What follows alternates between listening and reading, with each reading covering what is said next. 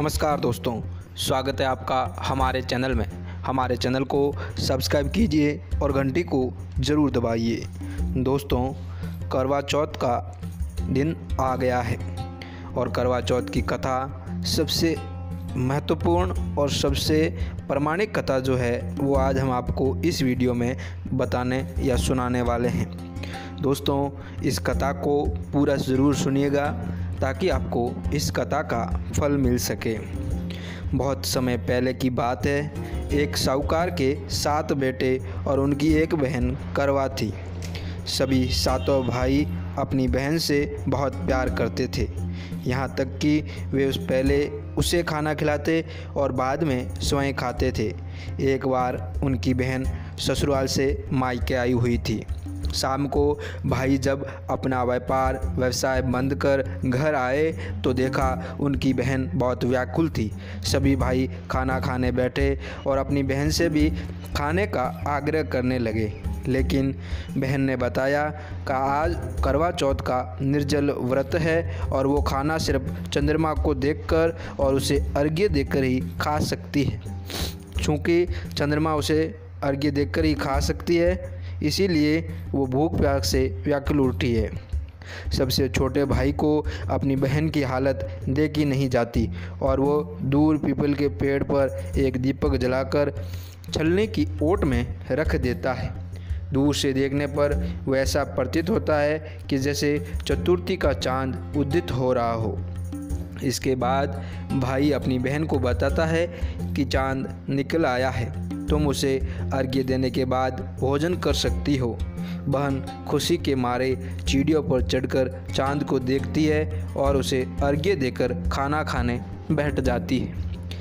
वो पहला टुकड़ा मुँह में डालती है तो उसे छींक आ जाती है। दूसरा टुकड़ा डालती है तो उसमें बाल निकल आता है और जैसे ही तीसरा टुकड़ा मुँह में डालने की कोशिश करती है तो उसके पति की मृत्यु का समाचार उसे मिलता है।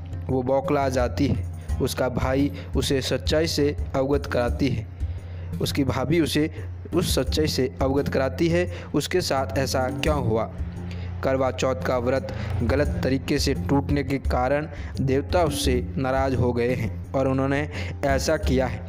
सच्चाई जानने के बाद करवा निश्चय करती है कि वो अपने पति का अंतिम संस्कार नहीं होने देगी और अपने सतीत्व से उन्हें पुनर्जीवन दिलाकर रहेगी।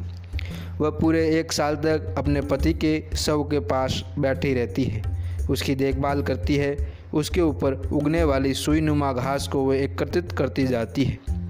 एक साल बाद फिर करवा चौथ का दिन आता है। उसकी सभी भाभियाँ करवा चौथ का व्रत रखती है।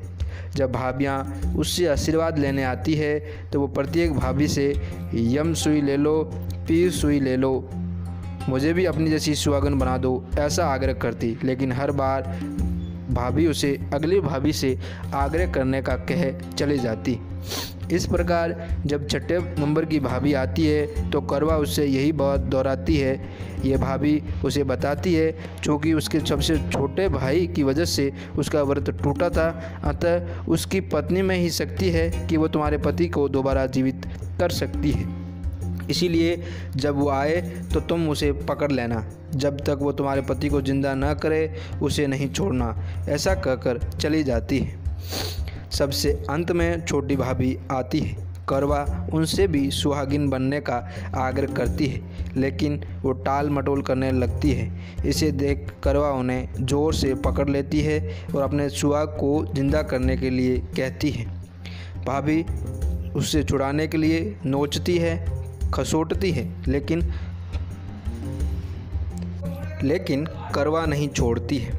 अंत में उसकी तपस्या को देखकर भाभी पसीज जाती है और अपनी छोटी उंगली को चीरकर उसमें से अमृत उसके पति के मुँह में डाल देती है।